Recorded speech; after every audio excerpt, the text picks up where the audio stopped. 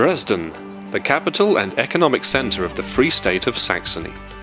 In the late 1990s, Volkswagen came up with the idea of the Gläsernen Manufaktur, the transparent manufacturing, in Dresden to make the outputs of car production much more visible to the outside world. Because of limited space in the urban area, it was only possible to provide limited warehousing capacity and standing areas for heavy trucks.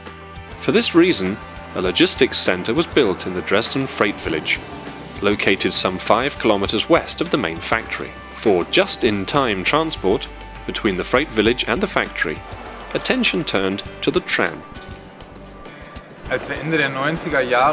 When we developed the concept for the Gläsernen Manufaktur at the end of the 1990s, it quickly became clear that the cargo tram offered the perfect solution, for the following three reasons. First, we were improving Dresden. Second, we were preserving the environment, and thirdly, the cargo tram, with its highly innovative image, fitted perfectly with our concept of the Gläsernen Manufaktur. In addition to this, the cargo trams in Dresden are part of a tradition that stretches back many years. There have been trams in Dresden for 130 years, and they have always featured as part of the freight transport system here. There were the so-called washing trams, for example, which carried the washerwomen up the steep hill to Bühlau. There was the transport of flour from mills, whilst other trams carry goods for breweries. The freight carrying cargo tram has now been in operation since the 1st of March 2001.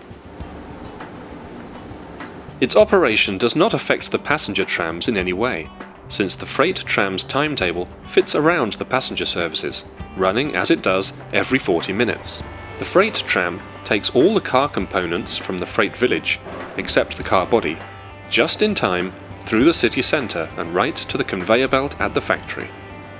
It uses the normal network of tram tracks for its entire trip. The two modern blue 60 metre long trams can carry up to 214 cubic metres or 60 tons of goods. With each trip by cargo tram, we avoid the need for three truck trips through Dresden city centre. The freight tram fits perfectly with the public transport operators' corporate philosophy of contributing to increased quality of life, as well as to the attractiveness and sustainable development of the city.